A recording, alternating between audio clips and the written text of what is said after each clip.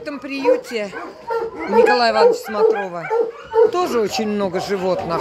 И фактически, конечно, здесь э, надо бы и по площадку попросторней, но наша, наша помощь заключалась в том, что очень много обращалось людей, жителей, просили спасти ту или иную собачку. И мы с Николаем Ивановичем всегда приходили на помощь, выезжали, спасали, забирали.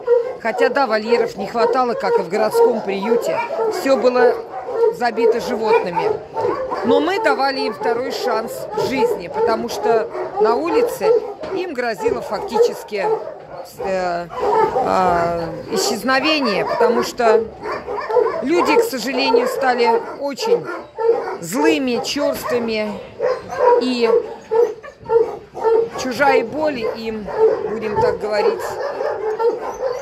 ну, не, не сочувственный стал у нас народ, будем так говорить, не сочувственный. А здесь, конечно, мы пытаемся, чтобы они хоть более-менее как-то существовали. Это живые существа, я еще раз хочу сказать. Ну, вот такой лай стоит, потому что они выгуливаются, конечно, выгуливаем.